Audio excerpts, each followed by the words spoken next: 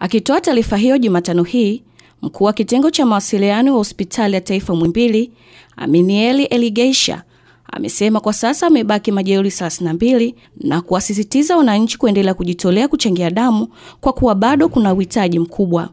Timu yetu ya wataalam, madaktari, wauguzi, wafamasia na watoa huduma wote wanaohusika na wagonjwa moja kwa moja wameshikana kuhakikisha kwamba wanaendelea kutoa huduma kwa majeruhi 32 hao waliobaki ili kuhakikisha kwamba wanaweza kurejea katika hali zao za kawaida na waweze kuendelea na shughuli zao za kujenga uchumi binafsi na uchumi wa nchi.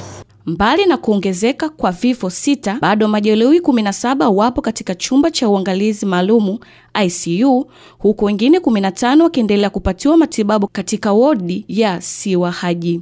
Kwanza tunasikitika kuambia kwamba katika majeruhi tuliokuwa nayo jana 38 tumeondokewa na majeruhi wengine sita, kwa hiyo tumebaki na majeruhi 32.